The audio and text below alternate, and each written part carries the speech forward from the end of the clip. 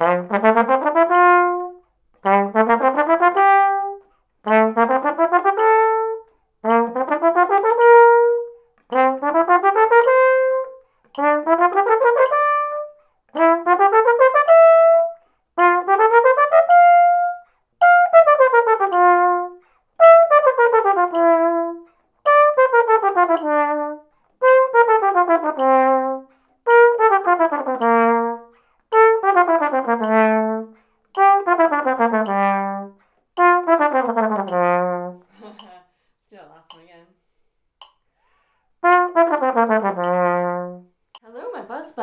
Welcome to my flugelhorn practice. Today I'm practicing the love of my life. You might notice some difference in the sound today, or you might not. Um, just depends on how easy it is to figure it out by the end of the day today. Um, I am working on it, working on something new. Um, and if it doesn't work out, if I find it too complicated at this moment, I'll just do what I've been doing. That should be okay, but I'd really like to be able to um, have good sound quality in my videos. Something I wanted to talk to you about is this instrument, this beautiful, wonderful slice of music heaven, which is the flugelhorn to me. I noticed when I looked in my analytics that out of all of the search terms that people use to find my videos or to people click on, the most common one besides Frank James' song is flugelhorn. And I thought that was really interesting because I haven't really played the flugelhorn on this channel in a little while, and um, that's silly. that's very silly because I love this instrument and I feel so connected to it. Around July, I was practicing flugelhorn and trumpet alternatively, like I was just doing each one every other day. And um, I think it's time to get back into doing that. Especially now that I've been practicing more and allowing myself this time, I think that now is the time to really dig deep into my relationship with this instrument, this really special instrument, uh, which is not the same as a trumpet. It's totally different. And the mouthpiece is like totally different, right? Even just buzzing the mouthpiece by itself was a totally different experience for me.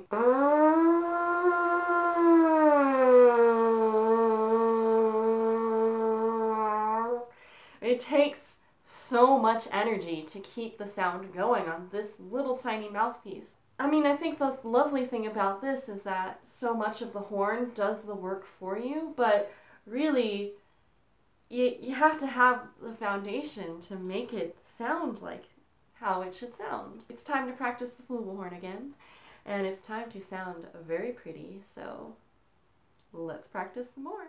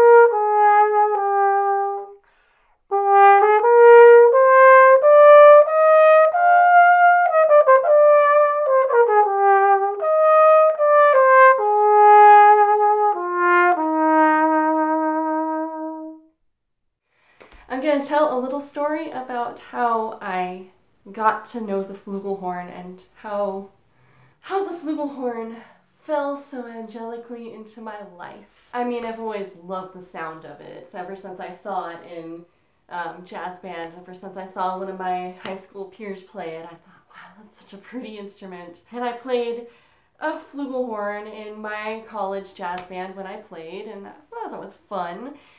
Um, but quite honestly, I really didn't take that opportunity and run with it when I had the chance because we had these beautiful four valve Getzens, um, matching set of them that we played in our jazz orchestra. And it was so lovely, and I just like didn't ever play it outside of rehearsal. When I graduated, I was still in the British brass band um, that we had up in my college town. I was playing Repiano cornet, and one time the normal flugelhorn player was not going to be at the rehearsal. It happened to be like kind of a performance type rehearsal. Someone else in the band let me borrow their also Getzen lovely rose satin finish flugelhorn. There was this piece that came up and I, I, it said solo on it. It was some kind of like, you know, it's an English folk song and I don't remember what the song was exactly, but I'll always remember the melody because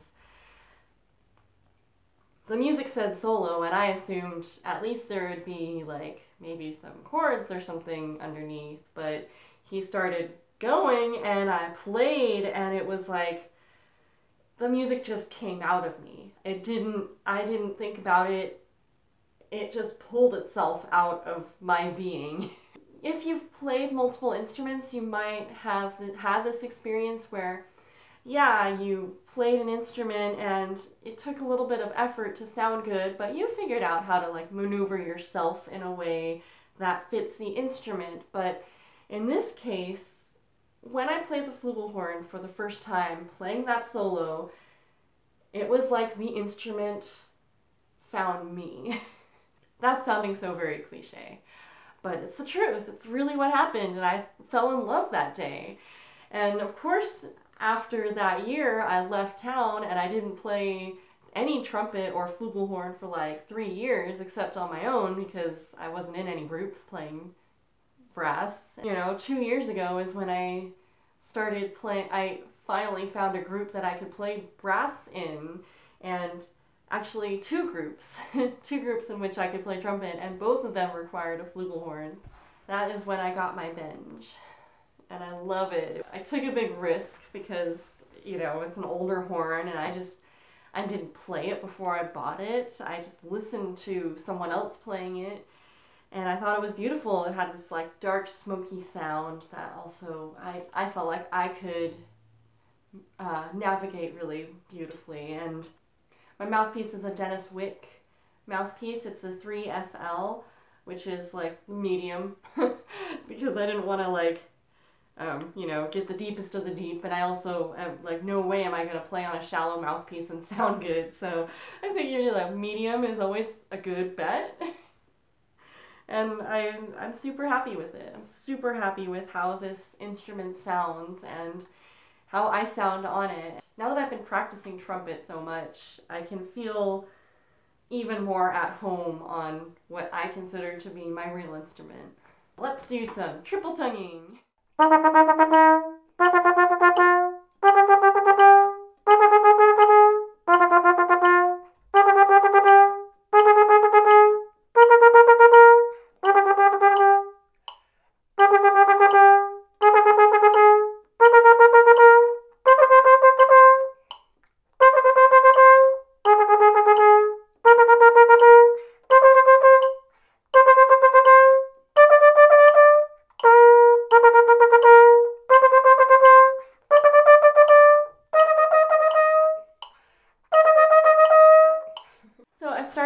about how to organize my practice in an efficient way and in a way that helps me keep track and make sure that I practice everything I'm supposed to practice. So I wrote a little bit of uh, a routine for myself, which is a very basic template, right? I just start with mouthpiece buzzing and I do some Schlossberg and I just, I didn't write any specific Schlossberg, just whatever feels like something that I'm supposed to do that day. I practice a scale in the scale section for 10 minutes and I just click it up in the metronome one at a time, like super slow progress. You know, there's no rush. There's no rush to get fast. Then I have art of phrasing. It's like my uh, musical candy. Triple tonguing, just because it's still something that I'm wanting to work on my teacher told me I don't have to practice that much each day, but I should at least practice it for like a minute a day. Like maybe one time through an exercise per day. After triple tonguing, I have Bordogni, which is a transposition, and then Charlier. So let's get to the Bordogni. Let's talk a little bit about what the Bordogni actually is. What do we use this book for? So basically it is a book for practicing transposition, which is an essential skill for trumpet players and you know, horn players, other kinds of instruments, sometimes clarinet. I've seen clarinet parts in C before. Um, but trumpets, especially because of the history of brass instruments, they have to transpose a lot. What is interesting about this book is that it goes immediately, like it starts, for example, this piece I'm working on starts in E flat. So I'm a B flat instrument transposing to E flat and then goes immediately to B flat. So then I transpose um, into concert B flat, which is my comfort zone, you know, as a B flat instrument player right now. Um, then it goes again into E flat, then into F, and then E flat. So I'm switching gears a lot, switching mental gears a lot. Let's let's try it. I practiced until um, the second transposition to E flat. I think if I try to play this whole thing at once, my brain will fall apart.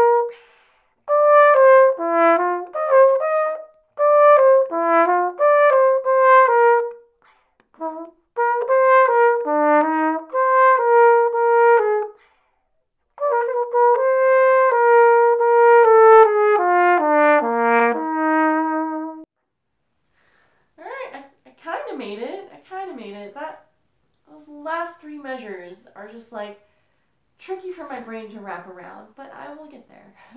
yeah, look, some time has gone by. Um, yeah, I practiced a little bit of the Charlier, and I'm working on. Um, I, I don't know. I don't know.